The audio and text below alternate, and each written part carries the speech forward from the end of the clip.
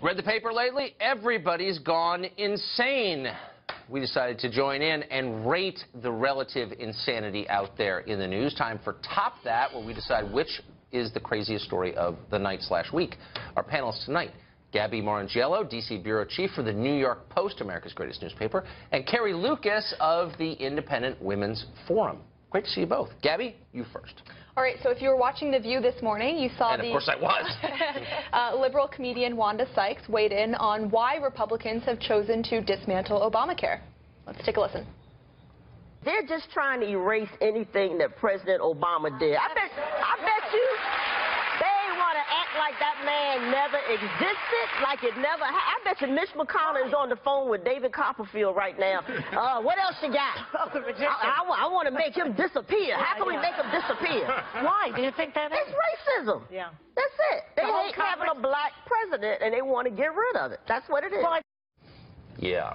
Uh, so if you're against Obamacare, you're a bigot? Right. It's racism, apparently. I mean, I'd like to ask her what she thinks um, President Trump's decision to allow DACA to continue then is, because he's obviously kept in place a number of uh, policies and legislation from the Obama era that he had originally said he wouldn't. Um, so if this is racism, I mean, what are those? Is that is that a good thing? Is she able to admit that as a liberal comedian, or is every single thing that this administration and this Republican-controlled Congress does rooted in racism and bigotry? Well, sure, and Obamacare was passed by an overwhelmingly white Democratic majority in the Congress. So, like, what does that mean? That's pretty nuts. Carrie, okay. can you top that? Yeah, well, let's see. Um, I don't know if you're a Star Wars fan, Tucker, but I, you guys may know that yesterday was a very important day um, for Star Wars fans and that it was May 4th, or May the 4th be with you, and people are encouraged to go ahead and dress up as their favorite uh, Star Wars character. So some kid in Wisconsin, Green Bay, Wisconsin, shows up in a Darth Vader outfit, and a parent sees him and instantly calls the cops.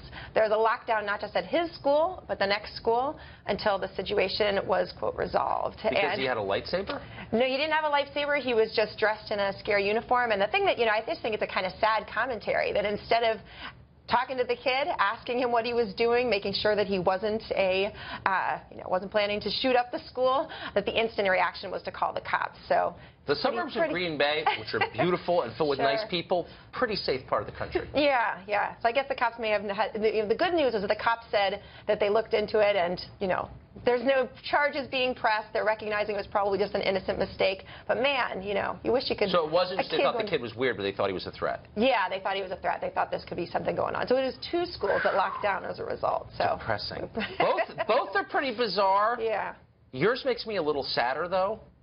Because. Wanda Sykes used to be a comedian and a really talented one, and she's gone completely off the deep end with this Trump stuff, and it's just distorted her so completely that she's become someone who's screaming at you on the subway. Right, and she's not listening to her fans either. I mean, she was shouted down after insulting the president at a show recently. Um, oh, it depresses me.